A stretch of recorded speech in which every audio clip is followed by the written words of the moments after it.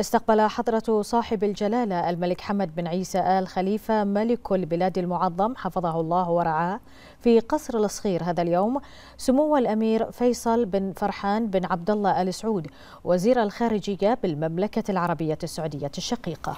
ونقل سموه إلى جلالته تحيات وتقدير أخيه خادم الحرمين الشريفين الملك سلمان بن عبد العزيز آل سعود ملك المملكة العربية السعودية الشقيقة حفظه الله وصاحب السمو الملكي الأمير محمد بن سلمان بن عبد العزيز آل سعود ولي العهد رئيس مجلس الوزراء وأصدق تمنياتهما لمملكة البحرين بدوام التقدم والرقي. ورحب صاحب الجلالة بسمو وزير الخارجية السعودي وأبلغه بنقل تحياته لأخيه خادم الحرمين الشريفين وصاحب السمو الملكي ولي العهد وتمنيات جلالته الخالصة لخادم الحرمين بمفور الصحة والعافية وللشعب السعودي الشقيق. بالمزيد من الرخاء والتطور. بالإضافة إلى شكر وتقدير جلالته على ما أبدياه من مشاعر طيبة ونبيلة وتعازيهما ومواساتهما بشهداء الواجب السامي. وأعرب جلالة الملك المعظم عن اعتزازه بما يجمع مملكة البحرين والمملكة العربية السعودية الشقيقة من علاقات أخوية متجذرة. اتسمت عبر محطاتها التاريخية بمتانتها وتطورها.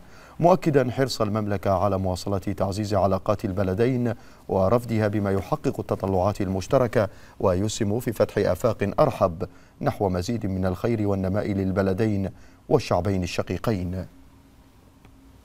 كما نوه جلالته بالجهود المخلصة التي يبذلها مجلس التنسيق السعودي البحريني برئاسة صاحب السمو الملكي الأمير سلمان بن حمد آل خليفة ولي العهد رئيس مجلس الوزراء وأخيه صاحب السمو الملكي الأمير محمد بن سلمان بن عبد العزيز ولي العهد رئيس مجلس الوزراء بالمملكة العربية السعودية لتعزيز العلاقات الأخوية وتطوير التعاون الثنائي لكل ما من شأنه خدمة مصالح البلدين والشعبين الشقيقين.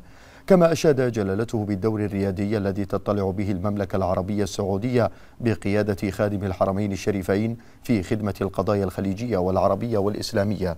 ومن جانبه أعرب سمو وزير الخارجية السعودي عن خالص شكره وتقديره لجلالة الملك المعظم على حسن الاستقبال وكرم الضيافة واعتزازه بجهود جلالته لتوطيد أواصر العلاقات الأخوية البحرينية السعودية.